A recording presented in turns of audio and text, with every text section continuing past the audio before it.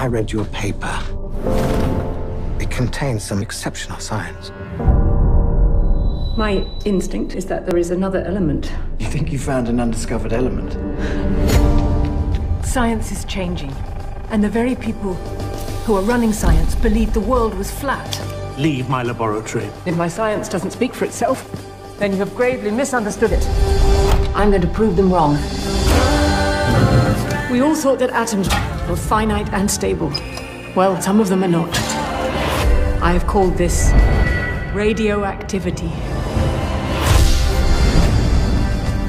Our discovery could cure cancer. Extraordinary. You changed the world.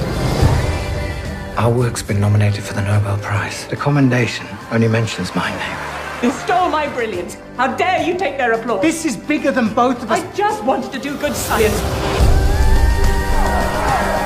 There are those that say that radium is making them sick. The question can be raised whether mankind benefits from knowing the secrets of nature. I have been haunted my entire life trying to understand the impossible. This is my fight, and I will win it.